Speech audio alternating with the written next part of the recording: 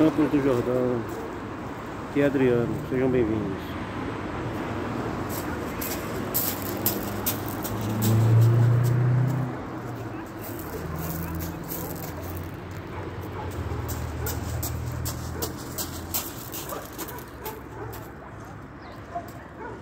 Dezessete graus? É.